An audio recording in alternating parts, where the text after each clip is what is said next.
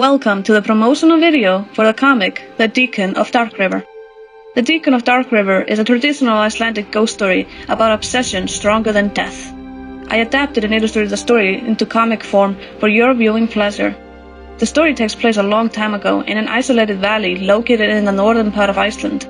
A deacon and a woman from a local farm named Guðrún are dating, separated by a mighty river. One night, the deacon visits Guðrún and invites her to a Christmas party at his side of the river. On his way back, though, the bridge has collapsed. He tries to cross the river over the frozen ice, but falls into the cold, deep river and drowns.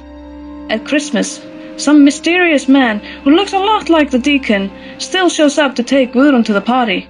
Dum dum dum! This eerie ghost story has been haunting Icelandic children like myself for centuries.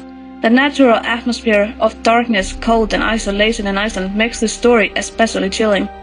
Think of it as ye old goosebumps. I'm Sandra Rós Björnsdóttir.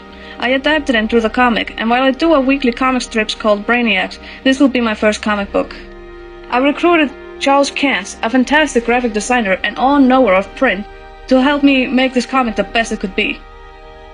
This story will be the first part of a series of Icelandic tales that will eventually be turned into a book. I want to distribute this story to a larger audience so even more people can experience our weird bedtime stories.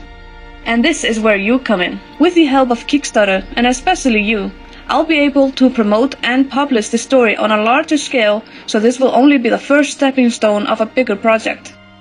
The more this campaign collects, the more time it will give me to produce the next comic in a series, promote it, and pay for necessary energy boosters along the way. Depending on the amount pledged, you will receive an exclusive limited print signed copy of the comic. You may also receive extra items like exclusive poster, stickers, and the opportunity to follow the production of the next comic that will begin this fall. You may even have the opportunity to appear in the next comic. As a special treat, I am printing a limited number of copies in Icelandic. I'm serious. This is the only time I will ever print this in Icelandic. So, go! Support our Icelandic culture!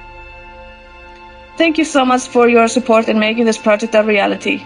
Being able to work independently on comics will be a dream come true, and I couldn't do it without you.